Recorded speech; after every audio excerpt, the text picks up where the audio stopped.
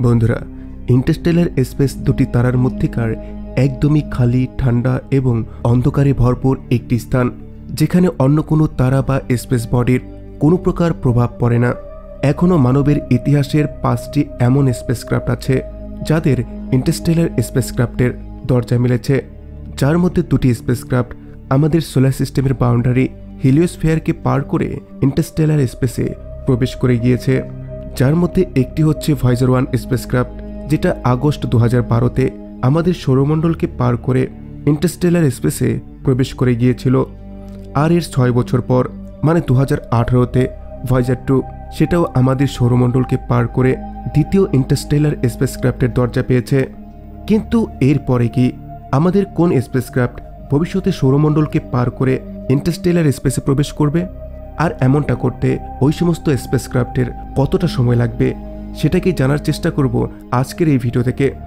So hello friend আপনারা দেখছেন science Bangla আর আমি আপনাদের বন্ধু উত্তম। আসুন শুরু করছি আজকের আরও একটি ইনফরমেটিভ ভিডিও সূর্য আমাদের সৌরমণ্ডলের সবথেকে বড় অবজেক্ট যার মধ্যে আমাদের সৌরমণ্ডলের ninety nine point eight percent mass মজুদ আছে, যার কারণেই সূর্য আমাদের সম্পূর্ণ সোলার সিস্টেমকে কন্ট্রোল করে। যে কোনো স্পেস বডি যা আমাদের সৌরমণ্ডলে মজুদ, সেটা আমাদের সূর্যের গ্র্যাভিটেশনাল ফোর্সের সাথে জুড়ে থাকে। আমাদের সোলার সিস্টেমের প্ল্যানেট অ্যাস্ট্রয়েড এবং কি আমাদের সোলার সিস্টেমের শেষে মজুদ আইসি কমেটস সব কিছুই সূর্যের গ্র্যাভিটেশনাল ফোর্সের কারণে সূর্যকে পরিক্রমা করছে।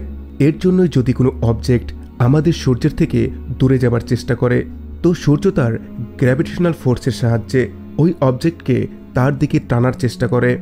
তখন ওই স্পেস অবজেক্টকে সূর্যের গ্র্যাভিটেশনাল ফোর্স থেকে বাইরে যাওয়ার জন্য এসকেপ ভেলোসিটির প্রয়োজন হয়, যা ওই অবজেক্টের ম্যাস এবং স্পিডের ওপর ডিপেন্ড করে। আর এর জন্যই কোনো অবজেক্টকে আমাদের সোলার সিস্টেমের বাউন্ডারি হিলোস্ফিয়ারকে পার করার জন্য একটি নির্দিষ্ট গতির প্রয়োজন হয়।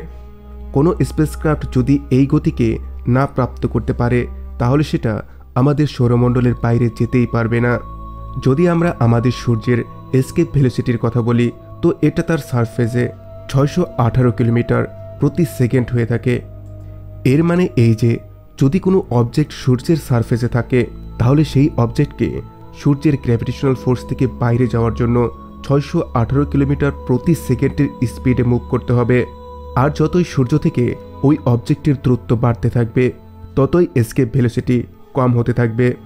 সূর্য থেকে প্রায় এক অ্যাস্ট্রোনমিক্যাল ইউনিটের দূরত্বে আমাদের পৃথিবীর অরবিটে মজুদ কোনো স্পেসক্রাফটকে সূর্যের গ্র্যাভিটেশনাল ফোর্সকে পার করার জন্য বিয়াল্লিশ কিলোমিটার প্রতি সেকেন্ডের স্পিডে মুভ করতে হবে। এই এসকেপ ভেলোসিটি সূর্যের থেকে একশো অ্যাস্ট্রোনমিক্যাল ইউনিটের দূরত্বে কমে চার দশমিক দুই এক কিলোমিটার প্রতি সেকেন্ড হয়ে যায়, যেটা প্রায় পনেরো হাজার কিলোমিটার প্রতি ঘণ্টা। ইন্টারস্টেলার স্পেসে প্রবেশ করা ভয়েজার মিশন সফলভাবে এই এসকেপ ভেলোসিটিকে পার করে। ভয়েজার মিশন ছাড়াও পায়োনার টেন পায়োনার ইলেভেন এবং নিউ হরাইজন এই তিনটি মিশন আছে, যা আমাদের সোলার সিস্টেমের বাইরে যাওয়ার ট্রেজেক্টরিতে আছে এবং তার কাছে আমাদের সূর্যের এসকেপ ভেলোসিটিকে পার করার মতো প্রয়োজনীয় স্পিডও মজুদ আছে। ভয়েজার ওয়ান আর ভয়েজার টু দ্বারা সংগ্রহ করা তথ্য আমাদেরকে এটাই বলছে, সূর্য থেকে একশো কুড়ি অ্যাস্ট্রোনমিক্যাল ইউনিটের দূরত্বে আমাদের সৌরমণ্ডলের বাউন্ডারি মানে ওইখানে হিলোস্ফিয়ার শেষ হয়ে যায় আর ইন্টারস্টেলার স্পেস শুরু হয়।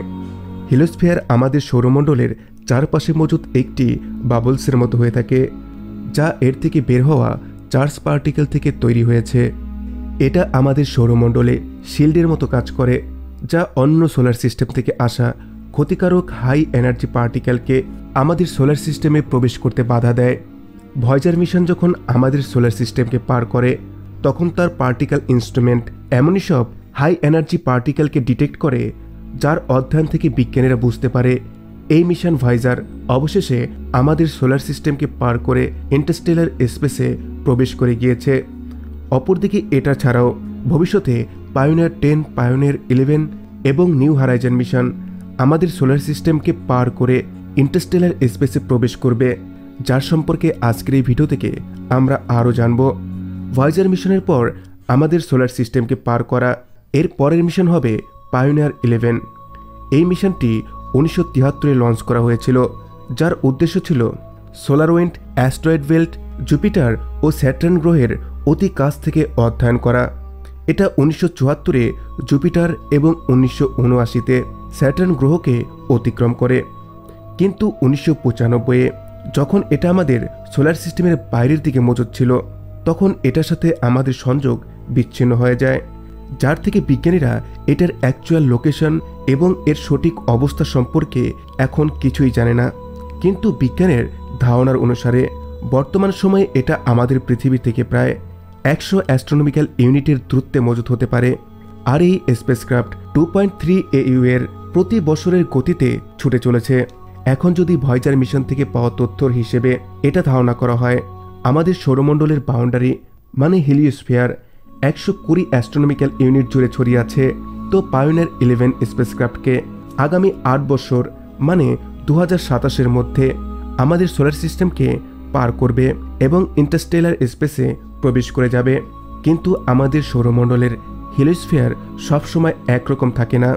এটা আমাদের সূর্যের বাইশ বছরের সোলার সাইকেলের হিসেবে দুই থেকে তিন অ্যাস্ট্রোনমিক্যাল ইউনিট পর্যন্ত কম বেশি হতে থাকে, যার ফলে কোনো কিছুই একদম সঠিকভাবে বলা সম্ভব নয়। অপরদিকে এর অপর মিশন পায়োনার টেন উনিশশো বাহাত্তরে লঞ্চ করা হয়েছিল। এটা অ্যাস্ট্রয়েড বেল্টকে পার করে জুপিটার ও তার মুন্সের অধ্যয়ন করা প্রথম কোনো মহাকাশযান ছিল। এটা উনিশশো তিরানব্বইতে জুপিটারকে পার করে হিলিস্ফিয়ারের দিকে ছুটে চলেছে। যখন দু হাজার তিন সাল, তখন এটা আমাদের পৃথিবী থেকে প্রায় আশি অ্যাস্ট্রোনমিক্যাল ইউনিটের দূরত্বে মজুদ ছিল। তখন ইলেকট্রিক পাওয়ার শেষ হয়ে যাওয়ার কারণে এই স্পেসক্রাফটের সাথে বিজ্ঞানীদের সংযোগ বিচ্ছিন্ন হয়ে যায়। যার কারণে আমরা সঠিকভাবে এটা জানি না। এটা বর্তমান সময়ে আমাদের থেকে ঠিক কতটা দূরত্বে মজুত আছে। কিন্তু বিজ্ঞানীদের অনুমান, এটা বর্তমান সময়ে আমাদের থেকে একশো তেইশ অ্যাস্ট্রোনমিক্যাল ইউনিটের দূরত্বে মজুত আছে। আর এটা প্রায় টু পয়েন্ট ফাইভ অ্যাস্ট্রোনমিক্যাল ইউনিটের প্রতি বছরের গতিতে আমাদের পৃথিবীর থেকে দূরে সরে যাচ্ছে। এর মানে এটা ভয়েজার ওয়ান মিশনের পর আমাদের পৃথিবীর থেকে সবথেকে অধিক দূরে মজুত হওয়া কোনো স্পেসক্রাফট কিন্তু এটা ভয়েজার আর পায়োনিয়ারের বিপরীত দিক দিয়ে হিলোস্ফিয়ারের টেলের দিকে পাঠানো হয়েছে, যেখানে হেলোস্ফিয়ারের হেড একশো কুড়ি অ্যাস্ট্রোনমিক্যাল ইউনিট পর্যন্ত ছড়িয়ে আছে।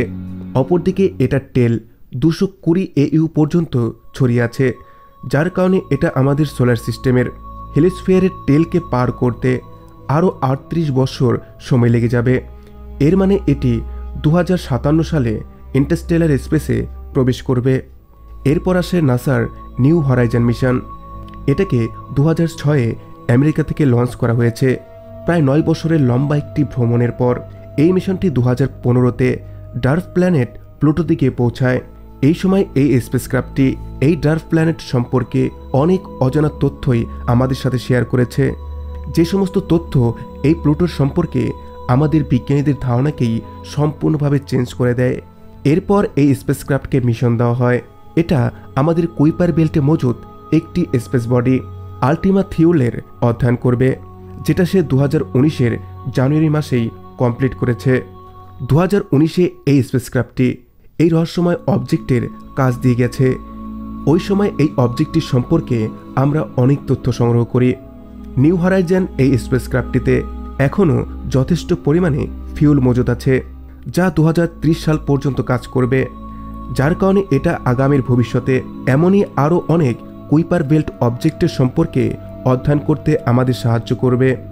বর্তমান সময়ে এই স্পেসক্রাফটটি আমাদের পৃথিবী থেকে প্রায় তেতাল্লিশ অ্যাস্ট্রোনমিক্যাল ইউনিটের দূরত্বে মজুত আছে। এই স্পেসক্রাফটটি প্রায় থ্রি পয়েন্ট ওয়ান অ্যাস্ট্রোনমিক্যাল ইউনিটের প্রতি বছরের গতিতে এগিয়ে যাচ্ছে। এর ফলে এটা আগামী চব্বিশ বছর মানে দু হাজার মধ্যে আমাদের সৌরমণ্ডলকে পার করে ইন্টারস্টেলার স্পেসে প্রবেশ করবে। এই মিশনে ভয়েজার মিশনের থেকেও অনেক অ্যাডভান্স ইনস্ট্রুমেন্টের ব্যবহার করা হয়েছে, যার থেকে সৌরমণ্ডলকে পার করার সময় যদি এটা সঠিকভাবে কাজ করে।